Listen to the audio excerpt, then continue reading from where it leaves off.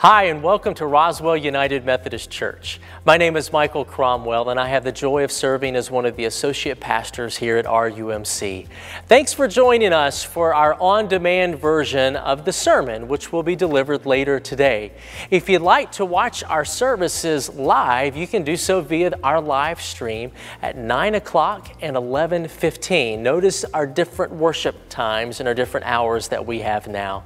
You'll also be able to see the entire worship service on demand later this afternoon at rumc.com slash sermons.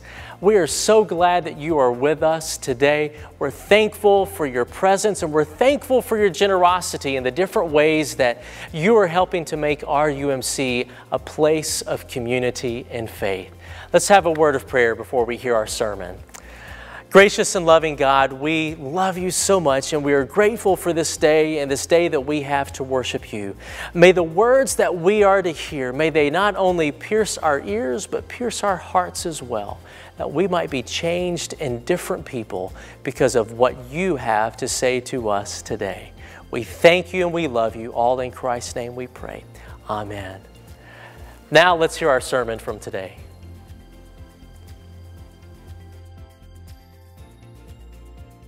Welcome. It's exciting to have this time of worship together and to join in this space. I'm Jeff Ross. I'm one of the pastors here at the Roswell United Methodist Church.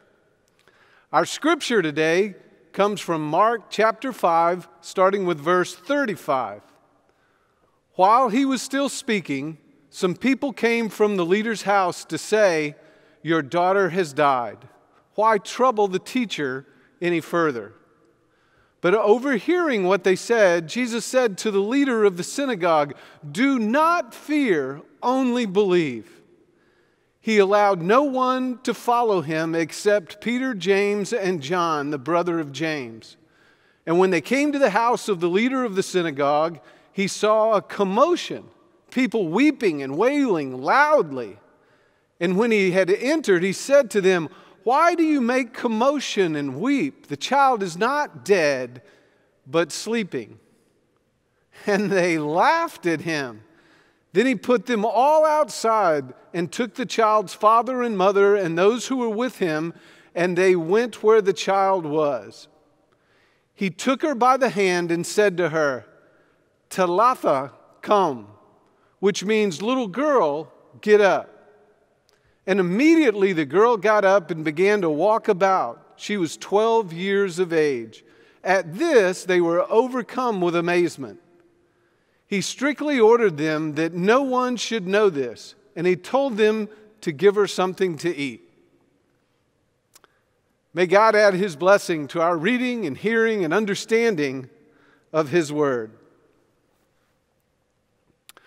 Don't be afraid. Wow there are those words again. Don't be afraid. You know, that's so much easier said than done. Last week we looked at the storm where Jesus said, Don't be afraid. This week we look at the health of a loved one where Jesus again says, Don't be afraid. Gosh, that's so much easier said than done. You know, I enjoy the work and the preparation uh, for preaching. I enjoy wrestling with the scripture, if you will. I especially like the process of looking at the text historically and traditionally. What have people thought and said over the years? What interpretations do people have about the text and about what happened and about how it happened and what specific verse is more important than the next verse? But I also enjoy sort of digging and, and sitting with what is this text saying to you and to me today, here in 2021? What is the discovery of the text uh, that God has for you and I in this setting, in this place? So, in this process, one of the things that I discovered this week is a, a thing called the 365 fear nots. Evidently, it's a, a thing on the internet and places like Pinterest uh, where there's 365 verses that talk about fear not. So that's one for every day of the year. And that's exciting, isn't it? Because we all are fearful. We all struggle with being afraid. And so, if we had a verse every day to reinforce uh, the hope that we need to have as we live, uh, that'd be a wonderful thing. It would be a wonderful thing if it was true but it's not. Sadly, the 365 things, uh, 365 fear nots is actually a thing. You can find it everywhere, posted as if it was true, but it's not. There are many, many verses uh, and stories in the Bible that talk about not being afraid, but there's not 365 verses that say fear not. There's only about 150 or so. Actually, this 365 fear not is a, is a made up thing that, that sort of profits off of the fear industry. The fear industry. Is there really such a thing? Well, evidently there is. Uh, there's a, a list that I ran across as well that talked about the top 25 industries that profit from fear. And the top three are politicians, insurance, and believe it or not, religion. Fear is a huge business. If we can create a way for you to be afraid, then we can profit from that. We can get you to buy something. We can get you to, uh, to buy a bunch of things. There's a, a, a phrase that's used in, in marketing or an acronym, uh, FUD, F period, U period, D period, that stands for fear, uncertainty, and doubt. And FUD is a propaganda tactic uh, used in sales, marketing, public relations, politics, polling, and cults. FUD is a strategy to influence perception by disseminating negative and even false information as an appeal to fear. Uh, people have figured out ways to, to market research and figure out what you're most afraid of and then hit you with something that hopefully will alleviate that fear and they can make money and you can maybe feel a little less fearful. The stock market strategists have long encouraged people to buy the fear you know, profiting from fear isn't anything new at all. In fact, it's active uh, all through the Bible, especially in our scripture passage today. So let's look at that. Let's look at this passage. We're first introduced to Jairus, the child's father, back in verse 22 of this fifth chapter. He comes to Jesus and asks Jesus to come with him because his daughter is sick and he wants Jesus to heal her. And this is fascinating. He actually gets down on, on a knee uh, to beg Jesus to come. And this is fascinating because Jairus is introduced as one of the leaders of the synagogue. Now, at this point in Jesus' ministry, the synagogue and Jesus are, are butting heads. Uh, they're not getting along at all. Uh, in fact, publicly, the synagogue is saying that Jesus is a quack. Don't listen to him. Don't follow him. They're trying to find ways to keep him quiet, uh, to arrest him even. And so it's fascinating that Jairus, when his daughter is in trouble, comes to Jesus and not his fellow uh, leaders of the synagogue. Um, and so he, he comes to Jesus to ask for help. Now, we pick the story back up in the 35th verse uh, as they are beginning or in process of walking to Jairus' house. And some folks meet them on the way and tell Jairus, and Jesus overhears that the daughter has actually died. And so, wow, uh, what, would you, what would you do in that sort of situation? It, it would be hard to control your emotions. But Jesus grabs Jairus and quickly tells him, Don't be afraid. Gosh, that, that's really hard to stomach. Don't be afraid. You're, you've just been told that your daughter has died, 12 years old. Um, I, I, don't, I don't know how Jairus could not be afraid, but you see Jesus trying to guide him, to lead him, to keep him positive, to keep him with an open mind. He says to Jairus, Don't be afraid, only believe, continue to believe. Jairus has already shown faith in Jesus by coming to him, uh, even though he knows this might get him in trouble with the other leaders of the synagogue, but he comes to Jesus, so he's demonstrating a faith, a belief uh, that Jesus actually actually can do something. Uh, and, and, so uh, Jesus wants to nurture that. He wants to grow that. He wants to uh, help that uh, b- bloom and blossom into something greater. So he tells Jairus, Don't be afraid, continue to believe. It's almost as if Jesus is pleading with him. So they continue on to the house. And when they get to the house, it says there's a loud commotion. Uh, and this is where people in Jesus' day profited from fear. There would have been paid uh, wailers and musicians and people there. There would have been folks there wailing loudly, trying to wail louder than others. It was a competition. Uh, so maybe they would get hired to be a wailer uh, the next time somebody had a, a tragic event. Uh, fear was big business, even in Jesus' day. And Jesus tries to tell them that the child is not dead, she's only asleep. And, and do you see what it says when Jesus says that in verse 40? It says they laugh at him. They laugh at Jesus uh, having any hope at all. They laugh at the idea of hope. They laugh at the idea of healing. They laugh at the idea that this could be anything but a fearful, tragic event. You know, I, I wonder is it easier to, to fear than it is to have hope? Uh, is it easier to live in fear than it is to live in faith? And that's, I think, at the heart of the question and the struggle that Jesus is trying to, to get at and, and that Mark is trying to get at as he tells this story. Think about your own situations. Uh, which has been easier uh, to have faith or to, uh, to cave in to the fear that is all around us. You know, this hit home for me a few years ago. Our, our, our middle daughter, Amy, uh, was working in a retail store. And part of her job from time to time was to take the money bag at the end of the day uh, and take it to the bank uh, before the bank closed and put it in the bank drop drawer. And uh, so on this particular day, Amy uh, checked the money with the store manager, signed off on it, took the bag, and she did this alone, uh, which was the policy with the, with the store. She got in her car by herself, went to the bank, uh, rolled down her window, put the bag in the bank drop. Uh, and drove away. She didn't get a receipt or, or anything. That was just the policy uh, that they had. Well, the next day when she got to work, uh, the manager said, Hey, uh, do you still have the bag? Did you not get a chance to drop it off? And Amy said, No, I dropped it off. And uh, the manager said, Well, the bank doesn't have it. So the police were called.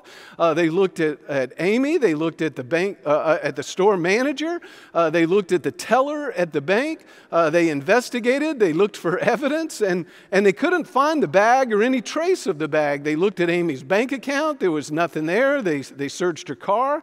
Uh, they looked at the teller, but there was a, a video camera that, that uh, seemed to indicate that the teller didn't take the money. The manager uh, and Amy had counted it, so they both had signed it. Amy even admitted that she took the bag, uh, but that she put it in the bank drop uh, and uh, doesn't know what happened to it after that. Well, since there was no uh, bag and there, were no, there was no money in anybody's account, this investigation sort of lingered for weeks. And that's where the struggle came in because we were fearful of what would happen if Amy had stolen the money. I mean, that was a big deal what would happen, but she, she swore that she didn't steal the money. Uh, and so we wanted to believe, we tried to believe, but that's where faith and, and fear just clash. And, and, uh, and fight against each other, don't they? You want to believe the best, but evidence and, and uh, things around you seem to point you in the direction of fear. And so I think that's what Jesus is getting at that it's this decision. We have to decide to be faithful people. It's not the, the most natural, easiest thing to do. Sometimes we have to fight against great urges. Well, after a number of weeks of just gut wrenching, what's going to happen today? What's going to turn up? Uh, the maintenance workers came to the bank and they were doing maintenance on all the machines and they found that the bank bag was underneath the lid. When the drawer comes out, the lid is supposed to come down, but it got stuck, I guess. Amy put the bank bag in the slot like she was supposed to, but it was under the lid. And, and so when people looked for it, they just looked for it in the, the section that it was supposed to be in in the bank drawer and it wasn't there, but the maintenance folks found the bag. Weeks later, all the money was there, everything that was supposed to, uh, and Amy was exonerated. She was telling the truth. There was just this mechanical issue. So sometimes faith is a hard thing. Sometimes fear just grips us and runs away with us. Well, Jesus asks us to have faith to trust, to believe. Sales folks will tell you that most of us operate either out of a fear of loss or a hope of gain. And that as salespeople, you have to figure out how people are operating, and then you play to that. You either play to the hope or you play to the fear. Well, the Bible constantly asks us to have faith and to not fear, to not live our lives based on fear, to not run from everything, to not be afraid of everything, but to look uh, to, to Jesus and to God for guidance and direction uh, and uh, to walk and live in that kind of hope. In fact, if you look at Jesus' ministry and the things that he says, his whole ministry is hope of gain based. It's not fear based at all, even though a lot of preaching uh, around the world is fear based. If you don't do this, God's going to get you. A lot of us live in fear of, of a God that's angry at us and is going to get us. But look at what Jesus says Seek first the kingdom of God, and everything else will fall into place. That's based on a hope of gain. Come and follow. Again, based on hope of what's going to happen.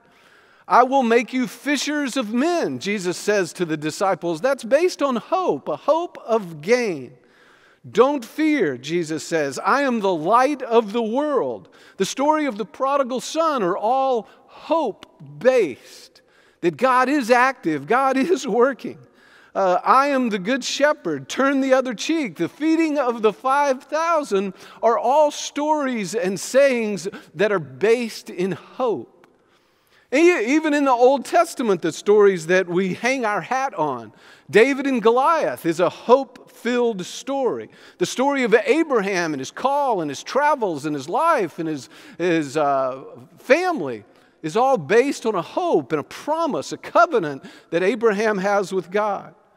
The story of Gideon is a story based on hope. The story of Moses leading the Israelites out of uh, Egypt and to the promised land is a hope of gain when we get to this promised land. Now, there's no doubt that fear sells. A whole lot of people profit from fear. It, it's sad to see that religion is at the top of that list because Jesus is telling us not to base our lives on fear, not to base our whole existence and the way we do things and the way we think about life based on a fear of loss. Don't, he says, let that be your motivation. Jesus invites us and Jairus to let hope win out over fear.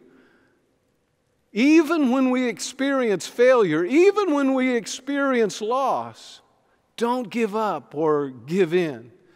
And so we see as this story progresses, Jairus uh, follows Jesus. Jesus is continuing to bolster him up, support him, help him continue to have this, uh, this, this hope, um, and, and to not give in to the fear.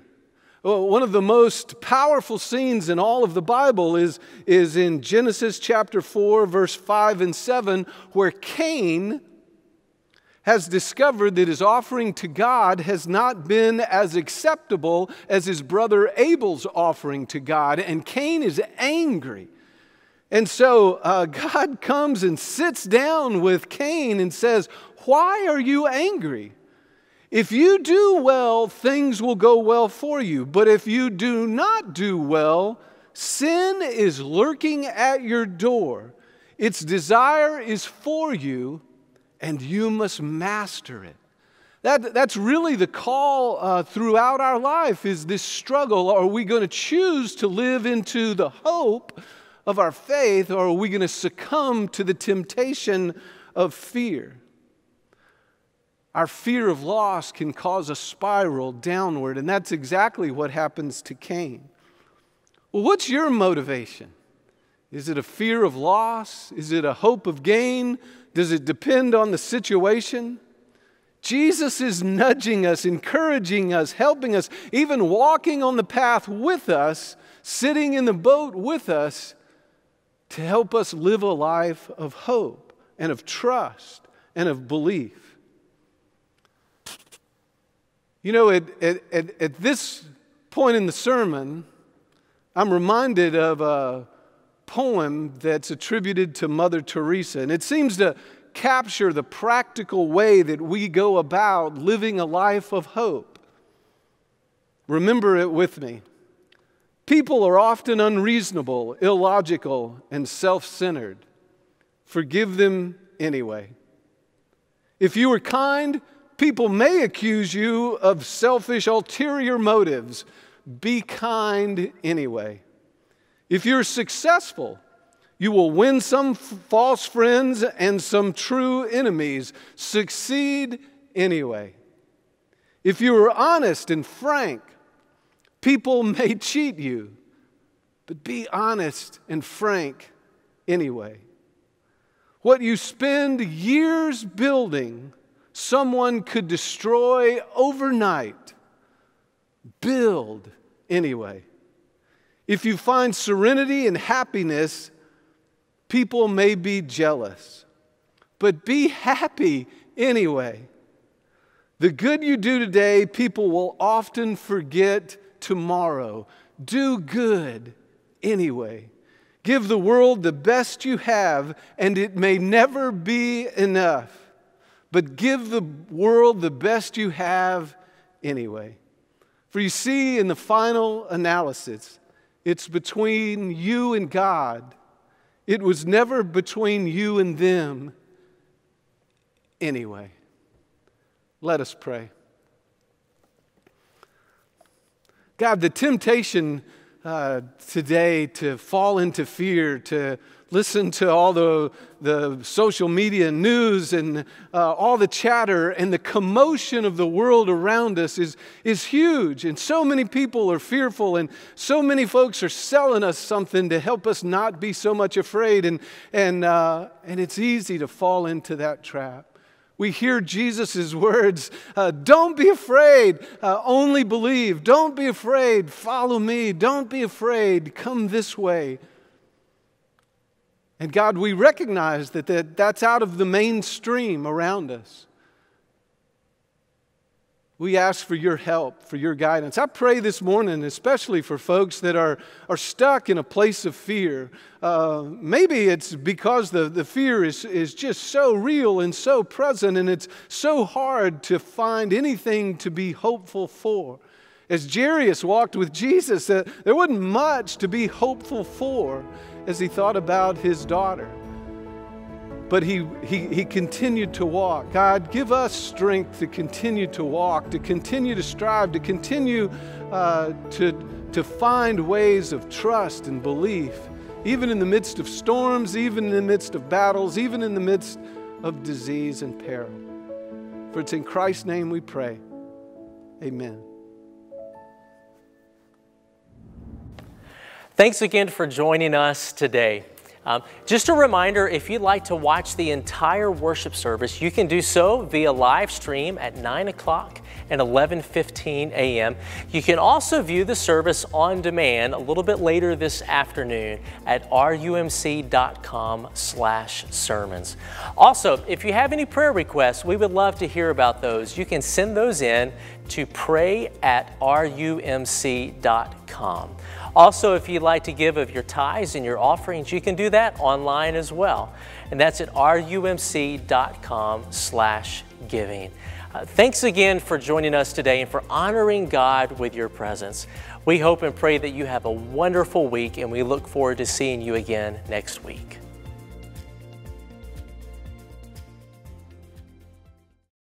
My name's Tom Davis. I'm senior pastor here at Roswell United Methodist Church. Thank you for joining us this morning. We're a church that's a place of community and faith, and we're a welcoming church. I hope that you experience that online, but not only online. My hope is that you experience it through our Facebook page. But not only that, once we meet together in person, we're at 814 Mimosa Boulevard, and I hope you'll come and experience it in person. We're a welcoming church. We're a biblical church. And we're a compassionate church. It's a place of community and faith where we help people live a Christ centered life. And my hope is that you'll come and be a part of it. Thank you for joining us.